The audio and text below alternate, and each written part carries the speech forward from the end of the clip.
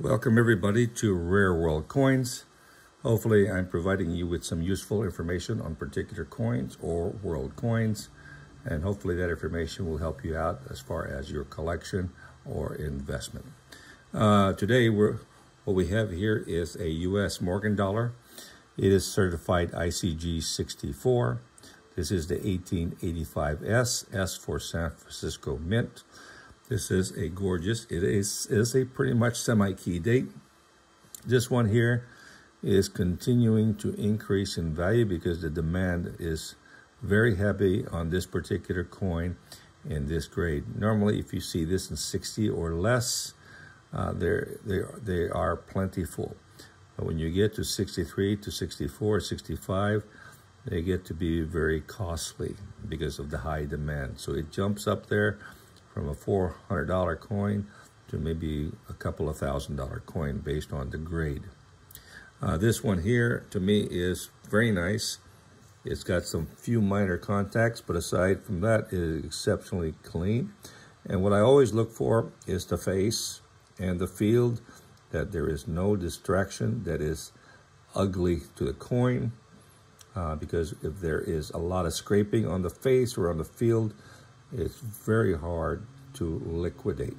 So you want to find coin, a coin that is exceptionally clean, especially on the face.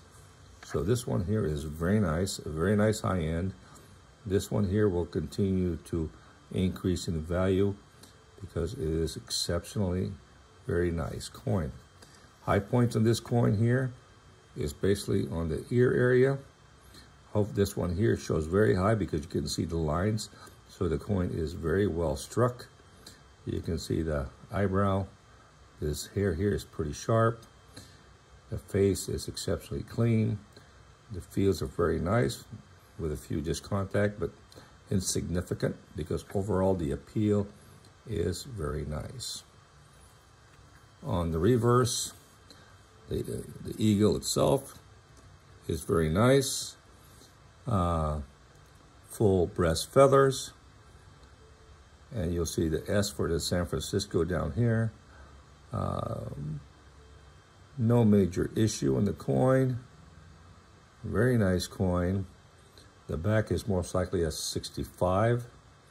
Uh, so uh, the grade it averages out to like a 64. This one here, I would basically agree with ICG on what they grade the coin. Uh, but it, it is a premium coin.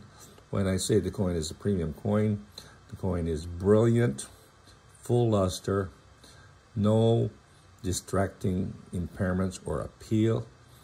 Okay, it's got all the characteristic of a, of a white coin, which is what you want to get.